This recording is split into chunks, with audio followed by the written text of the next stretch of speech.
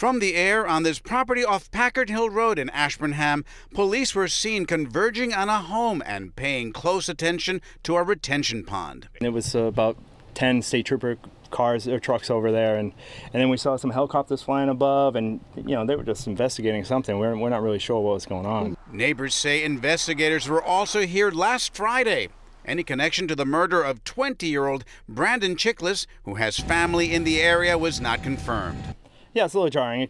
Chicklis left his home in Westminster, Mass. on June 29 to visit his dad in Windham, New Hampshire. He never made it. Flowers and a balloon now marking the spot where his body was found last week in Rindge, New Hampshire. Shocked. Absolutely, like floored, like blood draining from your face, floored.